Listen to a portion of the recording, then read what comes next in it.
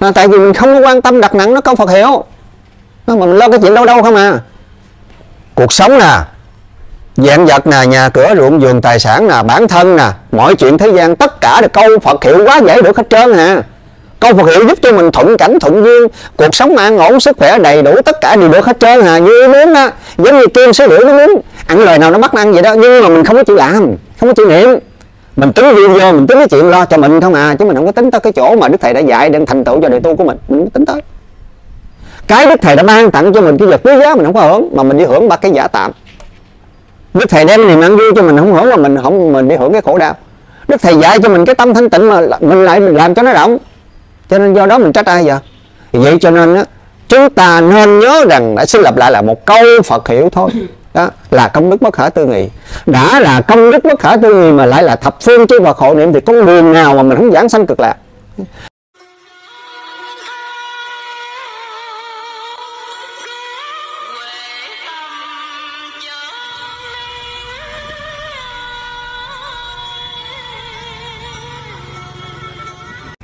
Nam mô Bổn sư Thích Ca Mâu Ni Phật.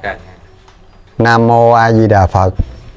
Kính thưa toàn thể chư quý vị, đồng đạo gần xa, cùng với à, các em cháu có mặt kính mến. Vừa rồi chúng ta tìm hiểu bài kệ 63 Như Thủy Thanh Châu, Tức là nêu lên cái lý do niệm câu Phật hiệu, Đoạn trừ vọng niệm Vọng niệm dụ cho nước đục, Mà câu Phật hiệu dụ cho nước trong nước trong là tâm thanh tịnh, nước đục là tâm vọng động câu Phật hiệu nó có công năng.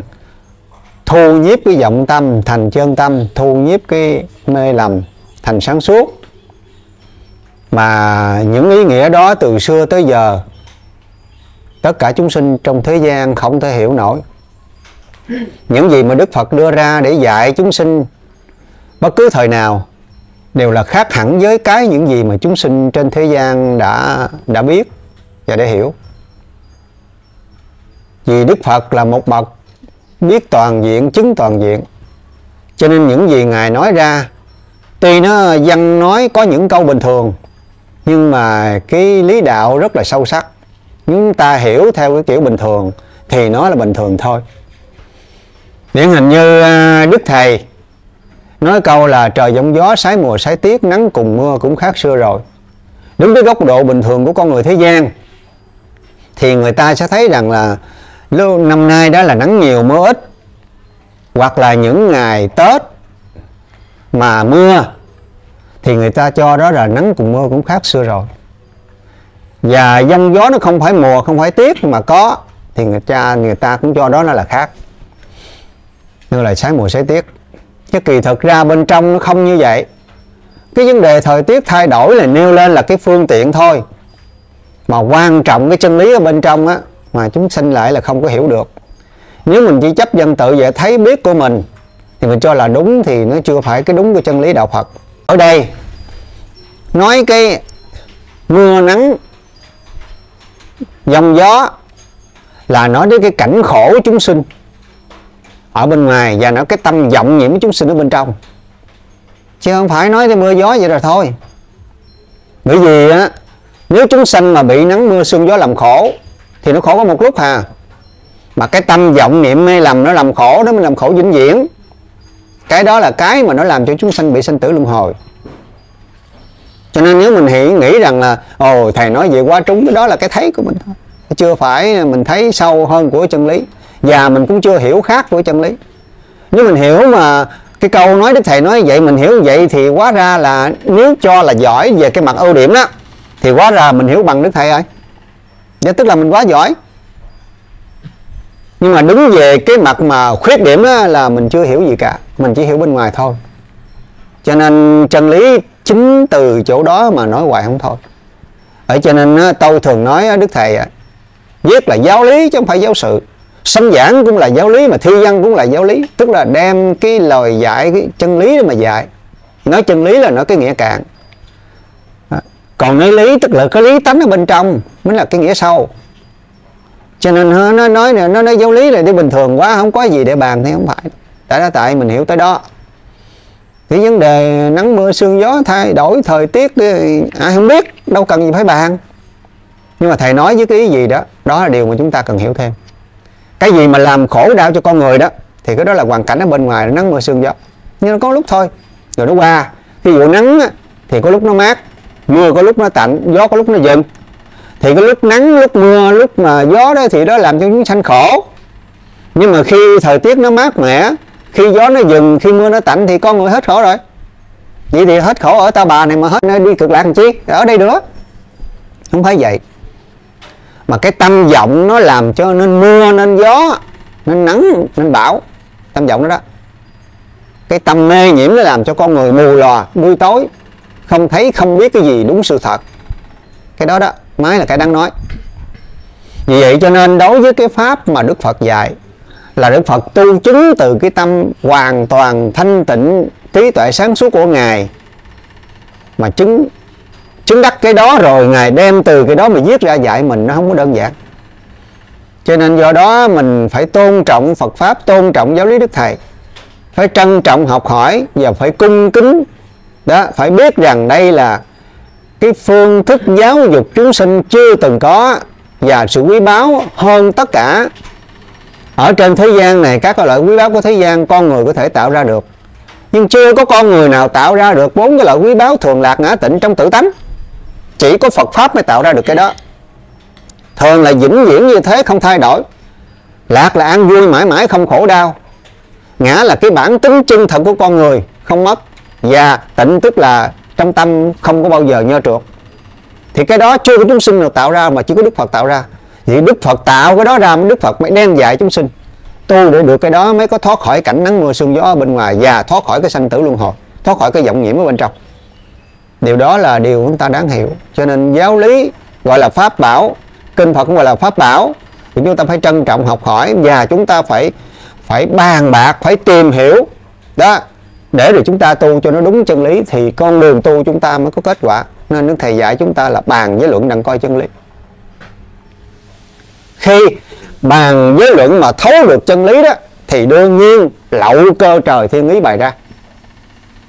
Tức là cái cơ trời đó của cái máy mà quyền cơ này nó ngàn điều à, tự nhiên nó sẽ lộ bài ra hết. Lậu là lộ cái bài lộ ra hết cho mình. Nhưng mà tại vì đó, mình chưa có coi được chân lý, chưa hiểu được chân lý nhìn cái đó nó không ra. Nó không ló ra, không lộ ra. Ở đâu lộ ra? Trong tự tánh, chứ không phải trong văn tự. Đó. trong tự tánh nó có đủ hết trơn mà. Cho nên chúng ta hiểu rằng từ cái tự tánh mà nó có đủ như thế thì các cái pháp khổ đau cũng ở trong tự tánh mà các cái điều an lạc cũng trong tự tánh. Bên thế gian này một con người chúng sinh ở cõi ta bà này đó, thì vô thường, khổ não, vô ngã bất tịnh rồi bên cực lạc đó thì là một một thánh chúng chứ không phải nói chúng sinh. Thì bên kia đó là có thường lạc ngã tịnh ngược lại cái vô thường và khổ não rồi à, vô ngã và bất tịnh. Vậy vô thường khổ não vô ngã bất tịnh là cái khổ để sinh tử luân hồi. Mà thường lạc ngã tịnh là muốn cái tánh chân thật an vui giải thoát. Cho nên do đó mà khi hiểu như vậy ta mới hiểu được cái chân lý này nó màu nhiệm hơn tất cả và chúng ta phải phải tu phải học phải tìm hiểu thì chúng ta phải cố gắng và thực hành theo những gì Đức Phật dạy. Chúng ta mới hưởng thụ được cái cái nhiệm màu của Phật pháp. Nếu không, thì lương khôn giữa chừng thì cũng vậy thôi à. nó không đạt được kết quả. Hôm nay là pháp môn tịnh độ cũng như thế. Bài kể vừa rồi, như chúng tôi đã nói hồi nãy, là nêu lên cái viên ngọc châu quý giá, lòng xuống để xuống cái dòng nước đục cho nó trở thành trong mà cái chuyện này là cái chuyện tổ sư nói là cái bậc chứng đắc đã nói, nhưng mà đành rằng là một câu nói thí dụ, một pháp thí dụ. Nhưng mà nó, cái thí dụ nó có cái hiệu năng của thí dụ. Và trở lại với cái chân thật là câu Phật hiệu gieo vào tâm loạn, nhất định tâm loạn phải thanh tịnh. Nó không còn vọng nữa. Thì bất cứ ai gieo đúng cách, nó sẽ thanh tịnh. Gieo không đúng cách, nó không thanh tịnh. Chứ không phải người ta nói chỉ là nói chuyện không. Thì bây giờ tới cái bài 64 này đó, tức là cái bài thứ hai hôm bữa nay chúng ta bàn đó nó khác cái đó. Đó nó khác cái đó. Hồi nãy thì thí dụ như ngọc bây giờ thí dụ kim sĩ điểu. Đây là một loại phi cầm mà nó có cái công năng lớn nhất và giỏi nhất. Nó có thần thông sâu nhất. Bài 64 nhất cố di đà giống nhập thử môn kim sứ phích thải trực thủ lâm, thơ, lâm thôn. Nghĩa là một câu a di đà ngộ vào đủ công năng kim sứ rẽ nước biển bắt thẳng lấy rồng ăn đây là cái bài kể dẫn dụ tiếp theo về cái pháp tu tịnh độ nó tối thắng. Nó quá ư là màu nhiệm. Một câu a di đà trong kinh khởi thế, bản nhân có đoạn chép. Đại bàng kim sứ điểu là giống chim ăn thịt loài rồng. Khi muốn thọ thực chim này tùy theo khả năng của loài, thai nõn thấp quá. Tức là bốn cái loại mà sinh trên cái đời này đó. Thai là thai sanh, như là con người hoặc là trâu bò ngựa chó mèo. Đó là, là loại uh, thai xanh nõn xanh là loại xanh bằng trứng thấp xanh là loại thanh với ẩm xanh với ẩm ướt và quá xanh là cái loại biến hóa. Đó là cái bốn cái loại chúng sinh được gồng được nói chung. Ở đây đó cái con chim sứ điểu này nó tùy nó muốn ăn cái loại nào nó sẽ bắt loại đó nó ăn. Nhưng mà rồng cũng là một loại thai sinh. Dùng cánh quạt nước biển sâu nhiều ngàn gia tuần đó là rồng là cái loại vật quý. Một trong bốn cái loại là tứ linh là long lân quy phụng rồng là đứng đầu. Loại quý đứng đầu trong bốn cái loại quý. Thì cái loại mà quý này đương nhiên nó phải ẩn sâu chiều sâu tàn ở dưới đó. Qua mấy cái lớp dưới đó mới tới là rồng. Đó. Bởi vì vật quý nó phải như thế. Cho nên chim sứ điểu đó là dùng cánh quạt nước biển. Khi mà con chim sứ điểu mà nó nó dùng cái cánh mà nó quạt là tự nhiên nước biển nó dạt ra hết trơn. Nó dạt ra hết đó, càng quạt nó càng dạt. Và đi thẳng xuống chiều sâu với hàng ngàn vỏ tuần ở dưới đó mới gặp rồng. Thì lúc bây giờ bắt lấy loài rồng đó là cái loại thai thai sinh đó. Bắt thẳng loài rồng để ăn. Kim sĩ là loài chim cao nhất trong hàng phi cầm. Có sức thần thông biến hóa. Rồng là là sinh vật tối tối linh trong biển cả. Cũng có nhiều quy lực thần thông cũng như trong những bài pháp Đức Phật thuyết Đức Phật đưa ra là cái bài pháp nó có cái chỗ Đức Phật đưa ra là sư tử hống. Tức là cái tiếng thuyết pháp của Đức Phật như giống như là cái tiếng của con sư tử một khi nó rống lên thì các loài thú đó tự nhiên nó, nó dạt hết nó núp hết. Nó không dám nó không dám ló đầu ra. Vì sư tử là chúa của các loài. Muốn ăn thịt loài nào nó ăn thịt một khi nó hét lên một tiếng rồi là các loại ờ, thú khác là bị trốn núp hết. Thì chim xí điểu là một cái loại chúa trong các loài phi cầm một khi nó cất cánh mà nó bay rồi đó là tất cả các cái loài khác phải trốn hết. Nhưng mà nó có thần thông, nó muốn ăn con nào là nó nó quạt cái cánh nó sâu vô nước biển nó bắt con đó nó ăn. Tự do vậy đó, ăn no thôi. Ở đây, cái bài, cái đoạn văn này và một cái câu nói này đó, thì người ta đã đem thí dụ. Ở đây là tổ ờ, triệt ngộ dẫn dụ như thế mà ngài hòa thượng thiền tâm đó là dẫn ngược lại. Trước nhất là đưa cái câu chuyện này để cho mình thấy rồi mới bàn trở lại cái lý đạo thì à, đọc lại kim sứ là loại chim cao nhất trong các hàng phi cầm. Có sức thần thông biến hóa. Ngay là nếu nó loại là cao nhất trong các loại phi cầm nó có thần thông biến hóa vô cùng. Rồng là loại sinh vật tối linh trong biển cả cũng có nhiều quy lực lớn. Như vậy thế này nè chim sứ điểu là dụ cho câu Phật hiệu mà rồng là dụ cho tất cả các công đức quý báu. Nghĩa là khi nhà đạo niệm một câu Phật hiệu đó thì nó có đầy đủ vô lượng công đức quý báu bởi vì rồng là cái loại tối linh. Mà nó bắt rồng ăn tức là bắt cái vật linh bắt cái món ngon nhất để ăn chứ nó không bắt món, món, món dở. Câu Phật hiệu là cái công đức vô lượng vô biên bất khả tư nghì. Được thập phương chư Phật hộ niệm thì đương nhiên nó sẽ đầy đủ công đức quý báu vô cùng tận. Còn tất cả các loài khác dụ cho phiền não nghiệp chướng sân si tiêu sạch hết. Không còn. Đây là cái câu á, cái đoạn mà trong kinh bản nhân đó đưa ra để cho mình thấy rằng cái tầm dốc quan trọng của cái người tu tịnh độ, niệm một câu nam mô di đà phật giống như là kim sĩ điểu. Đó, giống như là chim kim sĩ điểu. Tức là nó muốn nó muốn ăn loài rồng chứ nó không ăn các loại các loại khác. Niệm nam mô di đà phật, tức là đầy đủ công đức. Chứ nó không, cái tâm không có muốn là còn tội lỗi, còn ô nhiễm, còn nghiệp trước nó giống như thế. Cho nên do đó, pháp môn niệm phật là pháp môn công đức. Đó, mà tổ thiện đạo cũng nói, mà là tổ ngẫu ích cũng nói, mà tổ liên trì cũng nói niệm nam mô di đà phật là dời công đức của phật a di đà qua làm thành công đức của chính mình. Vì không dám sanh thành phật sao được? Là ba vị tổ sư cùng nói một câu đó. Do đó mà chúng ta hiểu rằng đó, nam mô di đà phật là thường nói là, mình nói hoài trong kinh a di đà, đức phật nói là công đức bất khả tư nghị. Nghĩa là công đức không thể nghĩ bàn bàn hoài không có hết công đức. Hôm nay niệm niệm một câu nam mô di đà phật là công đức bàn không hết rồi. Ngày mai niệm một câu nam mô di đà phật là nó chồng lên cái công đức bàn không hết ngày mốt niệm một câu nam mô di đà phật là nó chồng lên cái công đức bằng không hết là ba lần bất khả tư nghì. Mình nói một ngày một câu thôi đó, chứ một ngày đâu phải niệm một câu, niệm biết bao nhiêu câu. Thì cứ mỗi câu chồng lên công đức bất khả tư nghì, cứ mỗi câu chồng lên công đức bất khả tư nghì, thì thử hỏi vọng niệm nào, nghiệp chướng nào còn như vậy cho nên nói, cứ nhất tâm tín nguyện phụng hành được cứu cánh về nơi an dưỡng, đâu cần nói xa. Nói sờ sờ, đâu cần nói xa. Nhưng mà cái đó mình không có hiểu tới mình tính rằng tính rằng là niệm nam mô về phật công đức bất khả bất khả tư nghị, tức là niệm suốt đời vậy đó, là có công đức bất khả tư nghị thôi, chứ mình không có hiểu thêm. Đâu về mỗi một niệm là nó nó thành tâm như vậy là nó công đức bất khả tư nghị, mà cuộc đời tu của mình mấy chục năm niệm bao nhiêu niệm? Công đức có thể tính được không? Đã nó bất khả tư nghị, tức là bà không hết rồi, mà niệm bao nhiêu niệm thành tâm như vậy thì công đức có thể tính được không? Không tính được. Vậy thì cái vọng niệm chúng sinh đó là do lượng thứ ở trong thế giới, làm chúng sinh thì do lượng thứ vọng niệm tính không được thì một câu nam mô di đà phật là công đức bất khả tư nghị, tức là công đức vô lượng cũng không tính được. Vì lấy công đức vô lượng để đấu trừ cái nghiệp vô lượng, chuyện đó bình thường. Nhưng mà mình không hiểu tới đó. Mình tính là nghiệp mình nhiều, niệm phật công đức ít, mình tính vậy không à. Cho nên cái tính của phàm phu, mình nói phàm phu mà không có nói theo phật. Cho nên do đó mà mình niệm phật không không có chịu mà thiết tha để niệm, không có dứt tâm để niệm, mình niệm lơ là. Mình tính là nghiệp chướng nhiều quá, cứ lơ là lơ là hoài vậy chứ không cố gắng lo niệm phật. Nhất là đi đứng là ngồi ráng niệm cho quên, mình cũng vẫn lo là luôn, mình không lo. Trong khi niệm như vậy ngồi thì thanh nhất nhức lưng, nhức chân. Đó, mệt mỏi, ngồi không nổi. Mà buông ra đi đứng là ngồi dạy mình những cái dễ mình cũng không niệm được.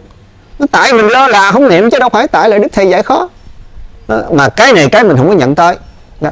hơn nữa cái câu Phật hiệu là công đức bất khả tư nghị. Một câu như vậy, hàng nguyên ngàn triệu câu cứ trồng lên hàng nguyên ngàn cái công đức bất khả tư nghị. Mình cũng không chịu nhận tới mình cứ nhận là niệm nam mô di đà phật chỉ là còn nghiệp lực nhiều quá, hay giảng sanh không có được, giải thoát không có được, cứ nhận thức vậy hoài. Cho nên mình làm chúng sanh hoài.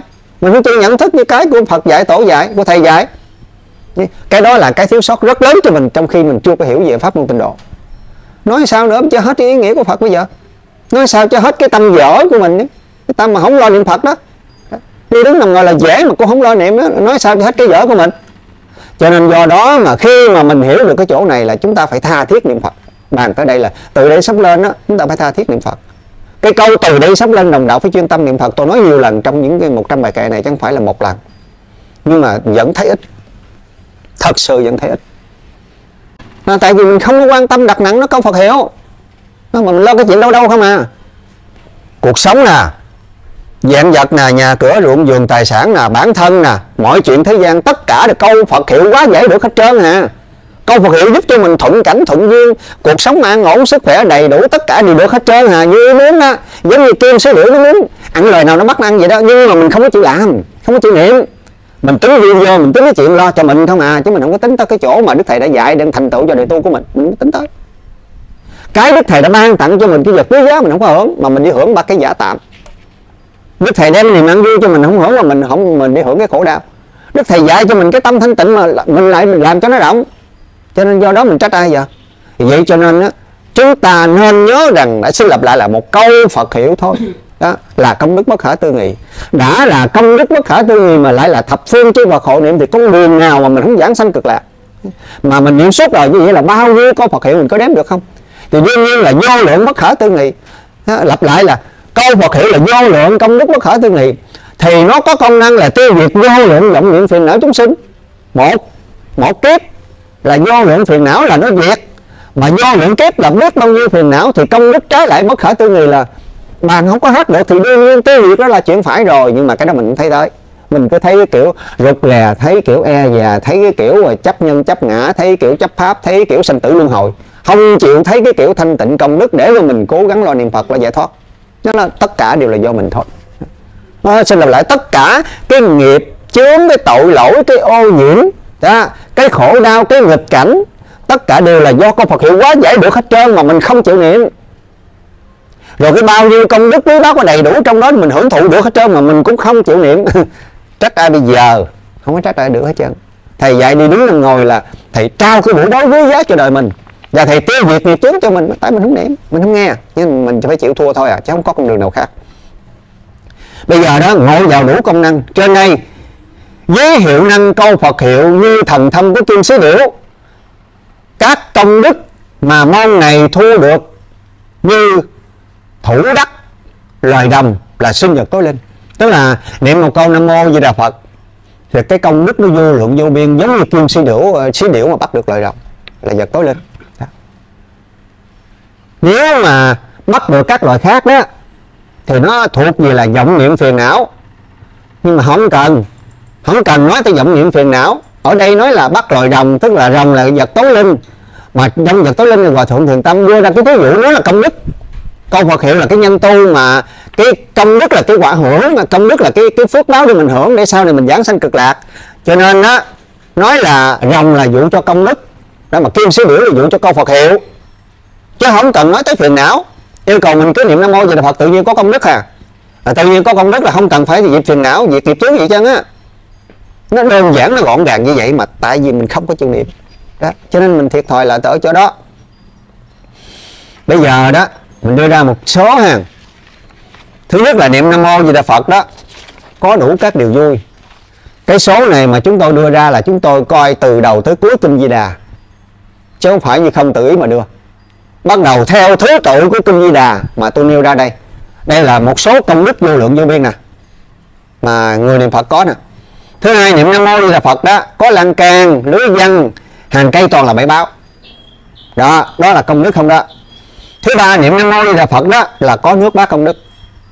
Thứ tư niệm nam mô di đà phật là có các loại hoa sen, xanh đỏ trắng vàng. Thứ năm niệm nam mô di đà phật đó, các loài hoa nhiều màu, ở trên chư thiên rải xuống cúng dường. Thứ sáu niệm nam mô di đà phật đó là có chuyên thuyết pháp. Khi mà nghe tiếng tiếng thuyết pháp của các loài chim cũng là công đức bất khả tư nghị. Vì do đức phật a di đà biến hóa ra. Niệm nam mô di đà phật đó là tu ngũ căn, tức là thành tựu năm căn của mình. Đó. Niệm nam mô di đà phật là có ngũ lực, tức là tu được ngũ lực, tức là có năm cái sức mạnh bồi dưỡng cho năm căn của mình đầy đủ nhân duyên. Niệm nam mô di đà phật là tu thoát giác chi, tức là bảy pháp giác ngộ. Niệm nam mô di đà phật là tu bát chánh đạo. Niệm nam mô di đà phật gió thổi, gian tiếng pháp. Ngọn gió thôi, thổi mà cũng có tiếng pháp đều niệm nam mô di đà phật, công đức trang nghiêm. Ở trong kinh a di đà ghi bốn lần công đức trang nghiêm. Bốn lần công đức trang nghiêm. Hãy xem kỹ kinh a di đà. Niệm nam mô di đà phật có vô lượng quan niệm nam mô di đà phật có vô lượng thọ. Niệm nam mô di đà phật có vô lượng thánh chúng. Niệm nam mô di đà phật có đắc bồ tát bổ xứ. Niệm nam mô di đà phật chứng tam bất thối. Niệm nam mô di đà phật phát nguyện giảng sanh chứng đắc. Sống cùng các bậc thượng thượng nhân. Niệm nam mô di đà phật có thiện căn phước đức nhân viên niệm nam mô di đà phật có nhất tâm bất loạn. Niệm nam mô di đà phật có đức phật và thánh chúng tiếp dẫn. Niệm nam mô di đà phật có công đức bất khả tư nghì niệm nam mô di đà phật có thập phương chư phật hộ niệm. Niệm nam mô di đà phật có thập phương chư phật tán thán khen ngợi. Niệm nam mô di đà phật có đắc tự tánh di đà. Niệm nam mô di đà phật đắc vi tâm tịnh độ. Niệm nam mô di đà phật thành phật. Đó là một số tiêu chuẩn đưa ra mà rất kinh nghiệm từng trong kinh a di đà.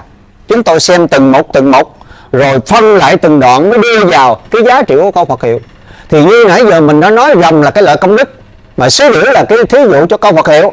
Niệm nam mô gì là Phật là tất cả những cái công năng mà mình ngộ vào đó, tức là ngộ trong tự tánh mình đã có đủ những cái giờ mình đang nói đó. Đó. Những cái giờ mình đang phân niệm nam mô rồi Phật, có cái gì, có cái gì, có cái gì. Đó là ngộ trong bản tánh mình nó có đầy đủ ở trong đó. Cho nên tổ huệ năng chẳng về chẳng về chẳng về chẳng về chẳng về năm lần chẳng về nó có sẵn trong này mà tới bây giờ mới biết được là chẳng về nó vậy đó. Thì câu Phật hiệu nó cũng giống vậy thôi. Đó, tất cả cái này nó có đủ ở trong này là mình chẳng có về. Mình tính đâu bên ngoài đi kiếm ngoài. Đó. Nên do đó nhọc công mà cuối cùng đó mình không có thành công. Nên đức thầy viết ngon tịnh độ là phương cứu cánh ráng phụng hành kẻo phụ phật xưa. Lòng từ bi chẳng quản nắng mưa sông thuyền giác rước đưa sanh chúng. Tại vì mình thành tựu công đức rồi. Đó ngộ thẳng vào công đức đầy đủ ở trong đó rồi thì thành tựu rồi thì đức thầy đương nhiên là rước mình về cực lạc chứ đi đâu đó. Mà khi rước về cực lạc, tức là đức thầy không có quản nắng mưa sương gió gì hết trơn. Miễn mình có đủ cái tính công năng công đức đó, ngộ thẳng vào đó rồi, thì nắng mưa sương gió cực khổ, nghịch cảnh người pháp, hả? Câu lưu chỗ nào mắc kệ đức thầy, biết lòng biết đưa mình, không bỏ mình. Tức là thuyền từ bi thẳng cánh nước sang qua đông độ giấc người hữu đức. Đó. Nhưng mà có cái căn bản là mình phải ráng phụng hành. Đừng có phủ công trình dạy đạo của đức thầy. Vì trong cái phụng hành đó chính cái chỗ là tịnh độ là cái pháp môn tổng quát, đó là tổng trì nó là cái phương thức cứu cánh toàn diện. Cho nên ta hiểu được cái ý nghĩa như vậy đó là tầm chốt quan trọng mà chúng ta phải có siêng năng niệm phật đó phải tinh tấn niệm phật, phải cố gắng niệm phật đó phải thường xuyên niệm phật. Chúng ta bỏ qua là chúng ta sẽ thiệt thòi rất lớn. Không tin được, không tin cũng vẫn được. Nhưng mà khổ đừng có than, sanh tử luân hồi mãi mãi đừng có than, gặp tai nạn ập tới đừng có than, khi đau bệnh nằm một chỗ đừng có than. Đó, bao nhiêu cái nghịch cảnh người ta tạt vào mặt mình ta nói xấu ngay mặt mình ta chỉ thẳng ngay mình mình đừng có than đừng có buồn đừng có phiền não đừng có nhăn mặt nhó mày nó mới ngọt. Còn nếu mình chịu không có được thì ráng niệm phật. Chịu cái đó không được ráng niệm phật đi. Như vậy chắc ăn hơn. Câu đức thầy nói đó. À, phận tu hành tay gắt mặt lì chịu cay đắng của người sang sớt không phải dễ chịu đâu nha.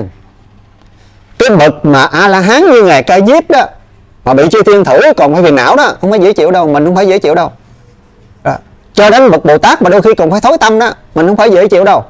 Đó. chưa chắc gì mình chịu lời cay đắng của ta san sớt đâu. Thậm chí đôi khi lời ngọt ngào ta san sớt mình chưa chịu nó kìa, nó thật luôn á. Chứ đừng nói lời cay đắng ta san sớt mình mà mình chịu. Chưa chắc gì cái tay mình bỏ qua cái tiếng nói khó nghe đâu. Đó. Chưa chắc gì cái mặt mình làm lì trước khi người ta sỉ nhục trước mặt mình đâu. Không được đâu. Cho nên chỉ có duy nhất muốn phá trừ về cái đó là nam mô di đà phật thôi.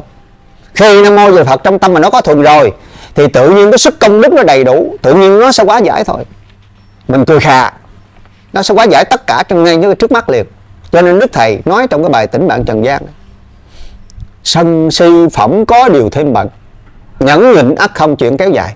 Miễn mình niệm nam mô di đà phật thường xuyên là tự nhiên mình biết cái đức tánh của mình nó có nó có là định, có huệ chứ không phải có sân si. Do đó mình nhịn ta nó về đó, do đó mình nhịn ta nó về thì khi nhịn được rồi là tự nhiên nó cắt ngang đó, nó không kéo dài nhẫn nhịn ắt không chuyện kéo dài. Chuyện đó chắc chắn là như thế. Sách di đà giải chép, dùng một câu danh hiệu a di đà phật này để làm phương tiện hồng đạt đến mức tâm bất loạn. Nghĩa là khi mình niệm nam mô di đà phật, sáu chữ đi đứng nằm ngồi đáng niệm chớ quên không đợi gì thời khắc đó là dùng nó làm phương tiện. Dùng nó làm phương tiện. Nhưng mà phương tiện đến khi mà nó thuần nó quen rồi, nó trở thành là nhất tâm bất loạn. Nó là vậy đó. Cho nên nói là dùng phương tiện để hồng đạt đến nước tâm bất loạn mà khi đạt nhất tâm bất loạn rồi thì cảnh giới này tuy dẫn tuy à, uh, dẫn niệm nhưng mà niệm mà vô niệm vô niệm mà niệm. Khi nhất tâm bất loạn thuộc về lý niệm thì khi lý niệm đó tức là tuy tuy có niệm nhưng mà bây giờ nó có cách là dẫn niệm nhưng mà niệm mà vô niệm. Tức là tuy cái niệm nó mà không chấp cái niệm thì mới nói là cái lý niệm. Và khi vô niệm mà niệm tức là không chấp cái niệm nó mà trong tâm tự nhiên nó niệm hoài thì cái đó là lý niệm. Đó vậy xin nhắc lại tuy vẫn niệm nhưng niệm mà vô niệm. Tức là mình đang niệm đang niệm nha. Nhưng mà trong cái niệm nó vô niệm. Tức là trong cái niệm mà cái tâm mình nó lao lao có phật hiệu nữa, không chấp có cái niệm gọi là vô niệm. Và vô niệm mà niệm tức là tuy không chấp không niệm nhưng mà cái tâm mình tự niệm lào lào danh hiệu phật. Lúc nào nó cũng thanh tịnh lúc nào nó cũng sáng suốt chói ngời. Đó như vậy đó tuy niệm mà vô niệm. Niệm phật chỉ làm gương cho người khác, cái người niệm phật tới mức đó là làm gương cho người ta thôi, không còn nữa tu cho mình nữa. Còn chính mình thì vô niệm. Đó. Niệm là chẳng rớt vào không. Tức là khi mình niệm tức là có niệm, nhưng mà không chấp là không. Rồi vô niệm tức là không, nhưng mà chẳng rất giàu có. Tức là khi mình niệm, khi mình vô niệm đó, tức là không chấp cái tâm vô niệm là không có kẹt giàu có. Thì đó gọi là trung đạo. Mà trung đạo tức là đi lao lao trong cái câu Phật hiệu tâm mình đi lao lao trong câu Phật hiệu đang đi trên đường mà đa, cái tâm mình đang đi lao lao trong câu Phật hiệu đang đứng mà tâm lao lao trong câu Phật hiệu đang đi mà tâm lao lao trong câu Phật hiệu đang nằm mà tâm lào lào trong câu Phật hiệu đang ngồi mà tâm lào lào trong câu Phật hiệu đang làm mà tâm lào lào trong câu Phật hiệu đang nghĩ mà đang, tâm lào lào trong câu Phật hiệu đang ở ngoài chợ mà tâm lào lào câu Phật hiệu đang ở nhà tâm lào lào câu Phật hiệu đang ở ngoài ruộng ngoài vườn mà tâm vẫn lào lào câu Phật hiệu đó, cái diệu dụng nó cao thế đó đó nên á, lúc nào là câu Phật hiệu này quả thật chẳng thể nghĩ bàn. Đó, không bao giờ bàn hết được. Nên nhớ bước đầu tiên mượn danh hiệu Phật là phương tiện. Nhưng mà khi mà phương tiện nó quen nó trở thành là nhất tâm thì nhất tâm rồi nó sẽ đến cái chiều sâu của lý niệm. Cũng như bây giờ à, mình à, không biết lái xe phải không? Không biết lái xe. Bây giờ mình muốn tập lái xe mà mình không có xe để tập thì bây giờ mượn chiếc xe của xóm riêng của thân tập anh em vậy đó, mượn chiếc xe để tôi mượn xe anh, xe chú đó, để tôi tập lái xe.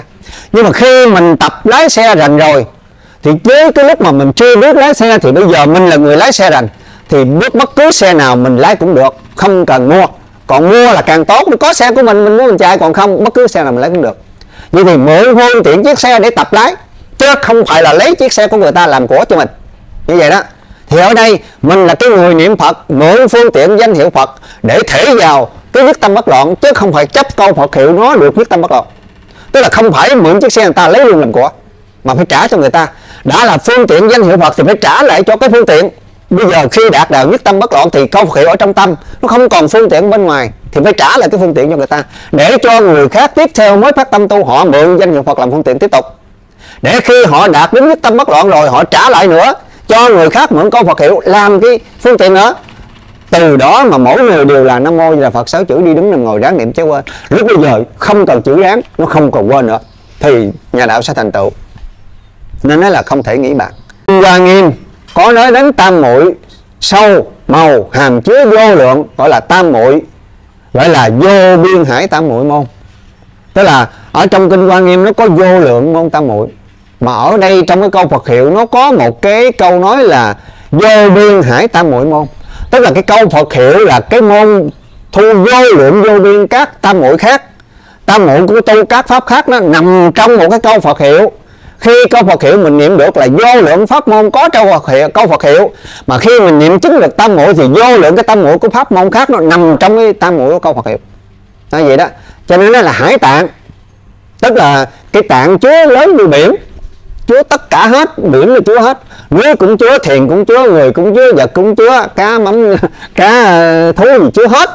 Đó, chứa hết trong cái biển đó. Thì dụ cho tất cả các pháp ở trong cái câu Phật hiệu nó có đầy đủ ở trong đó. À, hàm chứa toàn bộ hết không có thiếu cái gì hết. Chẳng những chứa vậy mà chứa luôn tất cả các công đức nữa trong tự tánh chúng ta đây. Đó khi nước tâm bất loạn là trong tự tánh này. tam muội là trong tự tánh đây. Thì nó chứa đầy đủ tất cả các pháp cho nên nó lục tổ ngài nói chẳng về tánh mà, mà mình hãy sanh muốn pháp muốn thuyết pháp gì cứ thuyết. Muốn nói thì nói muốn ngưng thì ngưng không bao giờ cản trở tâm tánh mình không chướng ngại tâm tánh của mình. Vậy thì cái ngon này đó nó là vô bờ lượng vô biên đã nó đây là loại tam muội bao hàm toàn diện các tam muội khác vô biên hải tạng tam muội môn luận đại trí độ chép.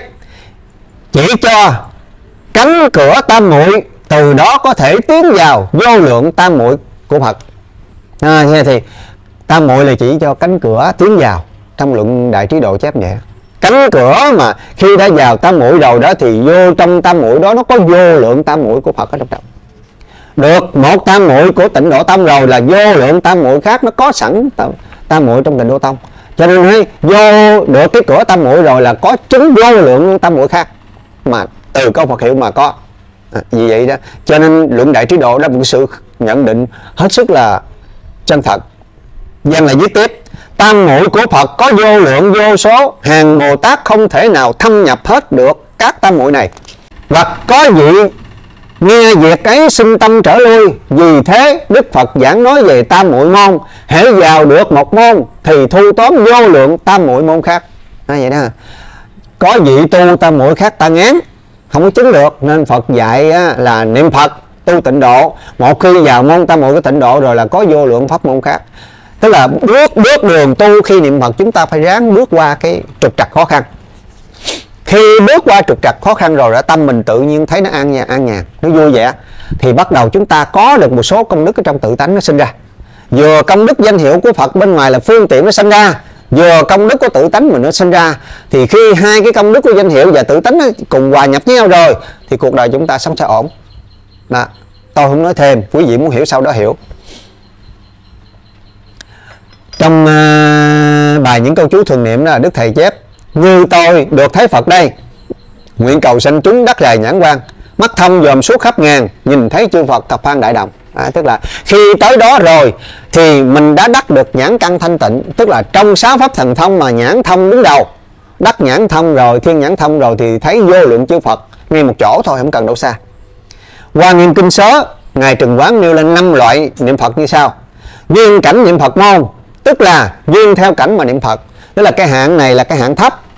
Nghĩa là bây giờ ví dụ như ở thành thị, ở cái chỗ nó bận rộn, ta niệm phật không có được. Người ta phải mượn cái cảnh vắng vẻ, thuận duyên để ta niệm phật. Đó gọi là duyên cảnh niệm phật môn. Là bước đầu.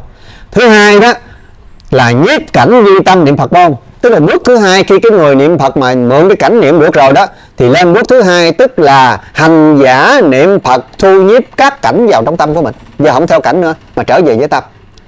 À, tức là nhiếp cảnh vi tâm niệm phật môn tức là hành giả khi niệm phật thu nhiếp các cảnh vào trong tâm. Để cảnh là nó nhiễm cảnh. Tâm mình nó chạy theo cảnh. Thu cảnh vào trong tâm là cái tâm nó ở trong cảnh cảnh ở trong tâm. Nó không có chạy ra bên ngoài nữa nên không có bị bị động thứ ba là tâm cảnh câu mẫn niệm phật môn tức là khi hành giả niệm phật tâm và cảnh đều vắng mặt. Lúc hồi nãy là thu nhiếp cảnh vô tâm. Thì nó có tâm có cảnh. Bây giờ tới thứ ba là cảnh và tâm vắng mặt luôn. Mất luôn. À, chỉ còn câu danh hiệu phật thôi. Thứ tư là tâm cảnh vô ngại niệm phật môn tức là khi hành giả niệm phật tâm và cảnh không bị chướng ngại. Đó lúc bây giờ tâm tức là cảnh cảnh tức là tâm. Câu phật hiệu niệm lào lào mà tâm cũng được, mà cảnh cũng được. Không cảnh không chướng ngại tâm, mà tâm không chướng ngại cảnh. Câu phật hiệu không chướng ngại công đức công đức không chướng ngại câu phật hiệu. Câu phật hiệu không chướng ngại nghiệp chướng nghiệp chướng không chướng ngại câu phật hiệu. Tất cả đều là dung thông tự tại.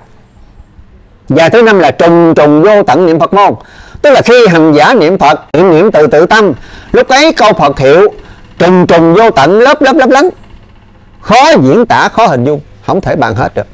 Đó là cái lối niệm phật của ngài trừng quán, ngài niệm được phân ra năm loại đi thi thì viết dạy mình đó là nên niệm Phật là niệm cái bản lai thanh tịnh của Phật cho lòng của mình nương theo đó mà được thanh tịnh và chẳng còn trượt nhiễm trần ai.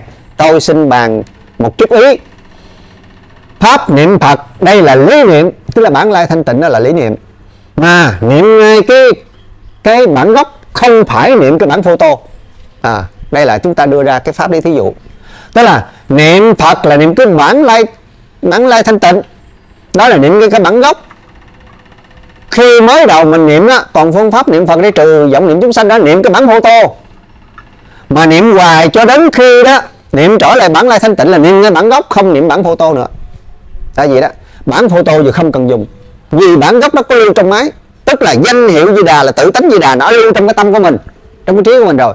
Không cần phải tìm kinh sách nào để đọc, không cần phải niệm sáu chữ đi đứng ngồi bên ngoài nữa. Mà niệm đó là niệm photo thôi, trở lại với bản gốc nó có sẵn rồi. Đó không phải bản photo nên nói là niệm nên niệm phật là niệm cái bản lai. Đó. đi trở lại cái gốc của mình, bản lai là cái gốc của mình. Niệm là niệm là cái gốc. Đức phật di đạt có cái gốc, mình có cái gốc. Mà xưa nay mình không biết khai cái mở cái gốc đó. Nay mình mượn cái danh hiệu phật bước đầu như đã nói hồi nãy đó. Nên còn phương pháp niệm phật là để trừ vọng niệm chúng sanh là niệm trong cái photo, tức là mượn câu danh hiệu làm phương tiện. Bây giờ đã biết được sự niệm lý niệm rồi, niệm tới bản lai thanh tịnh là niệm cái bản gốc, không niệm bản photo nữa không cần thiết photo. À, vậy thì ngay đã trở lại cái bản gốc là sống lại cái nghĩa là bản lai của chính mình. Nghĩa là cái bản lai ấy nó có vô lượng vô biên của báo. Còn hai chữ thanh tịnh lời sau kinh di đà chép tịnh như bảo qua thể quánh kiên cố dạ nghĩa tịnh là như qua báo thể chất sáng sạch phong phú dạng đức vậy tức là khi hai cái chữ thanh tịnh nó giống như là các loài quả báo vì trong hai chữ thanh tịnh nó sinh ra muôn loài công đức vô lượng vô biên công đức. Giống như các loài hoa báo đẹp nhất trên thế gian chưa từng có. Thì đó, cái loại đó là mới quý, là cái tâm công đức, mới là cái tâm quý. Thì khi hành giả niệm được thanh tịnh rồi thì muôn ngàn cái công đức, vô lượng công đức, từ cái tâm mình nó sinh ra. Đó, tự tâm mình nó sinh ra thì lúc đó mình sẽ sống an nhiên tự tại. Bên tây phương có bốn cõi tịnh độ. Phàm thánh đồng cư tịnh độ, phương tiện hữu dư tịnh độ, thật báo trang nghiêm tịnh độ, thường tịch quan tịnh độ. Phàm phu vi giảng sanh về quốc độ, đó đều có thanh tịnh vì sống cùng thánh chúng, đó là phàm thánh đồng cư thinh văn viên giác khi giảng sanh về quốc độ đó đều là thanh tịnh, vì là sống cùng các bậc a la hán đó là phương tiện hữu dư. Bồ tát khi giảng sanh về quốc độ đó đều là thanh tịnh vì sống cùng cùng với các bậc đại thừa bồ tát đó là cõi thật báo trang nghiêm. Sau khi ba hạng giảng sanh ấy về ba cõi tịnh độ nêu trên thì tu chứng lên bất thối và được bổ xứ làm phật. Nên tiếp theo lên quốc độ thanh tịnh, thường tịch quan, đó là cõi thứ tư nên đức thầy viết tịnh độ cõi tịnh độ lắm điều thanh nhã hay là tịnh độ vui tịnh độ nhàn vui lời sau kinh di đà chép hợp giảng đức như giao la như tu vi giữ bảo, giữ bảo thành xuân diệu giả. Nghĩa là hợp lại với giảng đức lại kết thành như núi tu vi do các chất báo tạo thành được gọi là diệu vậy. Tức là cái câu Phật hiệu mà khi nó hòa nhập rồi thì nó kết thành là vô lượng vô biên công đức gọi là dạng đức. Đó, gọi là dạng đức, tức là vô bựa vô lượng vô biên công đức, chứ không phải nó dạng đức mà thôi. Thì khi mà nó nó đã kết thành rồi thì tất cả các báo nó nhiều như là cái núi tu di. Đó. Nhà núi tu di toàn là cái núi báo không? Nên nó là diệu, tức là quyền diệu chưa từng có. Và câu sau cùng đó là bắt thẳng lấy đồng ăn đại sư liên trì so sánh niệm phật tam muội cũng thế. Ngộ vào môn này tức là sẽ ngộ nhập vô à, vô biên hải tạng môn. Sẽ đắc vô thượng tam muội. Vô lượng tam muội vì thế tổ trực ngộ mới trình thực ý trên. À, tức là hòa thượng thiền tâm mới nhắc lại cái chỗ siêu màu đó. Giống như kim sứ điệu bắt rồng ăn. Vì rồng là chúa các loài nên ăn rồng được, tức là ăn tất cả các loại khác được. Tức là niệm nam mô di đà phật là chúa tất cả pháp môn. Một khi niệm nam mô di đà phật được, tức là đầy đủ tất cả công đức như nuôi báo tu gì niệm phật là chúa tất cả pháp môn. Niệm phật được tu tất cả các pháp môn khác, vì các pháp môn khác đều nằm gọn trong câu phật hiệu. Nên đức thầy dạy môn tịnh độ là phương cứu cánh, ráng phụng hành kẻo phụng phật xưa. Và sau cùng đó là đức thầy dạy là nam mô di đà phật, sáu chữ đi đứng nằm ngồi, ráng niệm chứ quên không đợi gì thời khắc vì nam mô di đà phật đó nó có đầy đủ cái công năng như nãy mình đã nói rồi ngộ vào đầy đủ công năng rồi. Thì á, chúng ta phải hiểu rằng đó nó đó câu Phật hiệu giống như là lời kim sứ điểu vô lượng vô biên công đức giống như là rồng. Khi đã đầy đủ công năng như thế rồi thì trong sự tu chúng ta rất là thuận tiện rất dễ dàng. Đó. Và tôi đã nghiên cứu lại trong kinh A Di Đà mà tôi đưa vô một số công năng. Đó bắt đầu từ chỗ là về cõi A Di Đà cõi cực lạc đó có vui không có khổ, dài cho đến khi là niệm Phật thành Phật. Đó là cái căn bản nhất, ta thì dựa vào đó để ta ta thấy rằng để công đức nó đầy đủ trong trong câu danh hiệu Phật. Nên chúng ta phải cố gắng nhớ lại Đức Thầy dạy là Nam Mô Di Đà Phật, sáu chữ đi đứng nằm ngồi ráng niệm chớ quên không đợi gì thời khắc.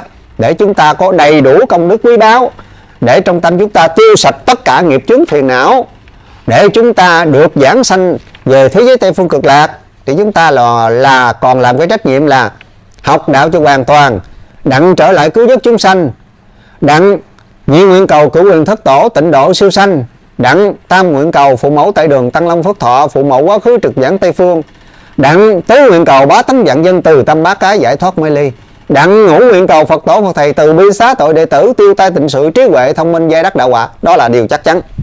Thì thôi với toàn thể quý vị, Bài 64 tới đây là coi như chúng ta đã tìm hiểu xong.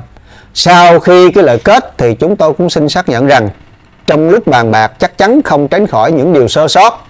Với những cái ngôn ngữ và những những cái hạnh đức của chúng tôi, mong và cái sự hiểu biết về chân lý, mong rằng toàn thể quý vị đồng đạo vui lòng thông cảm tha thứ cho, thì chúng tôi xin chân thành cảm ơn.